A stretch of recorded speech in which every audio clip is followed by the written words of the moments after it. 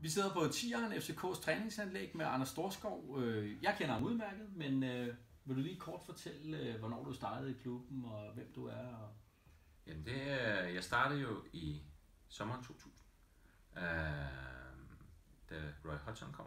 Jeg havde været øh, månederne for inden, var jeg øh, sådan øh, trainee i forbindelse med, at jeg skrev mit speciale på Team Danmarks øh, testcenter om Radar Force Development. Og så havde jeg FCK's øh, førsteholdstrup som trænings- og testgruppe.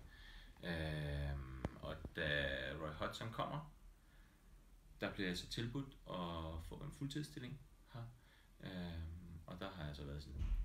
Øhm, så det er det er.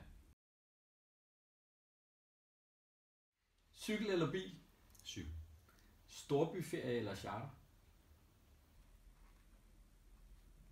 Charter. Netflix eller biograf? Netflix. Øh, Brøndby, had eller kærlighed?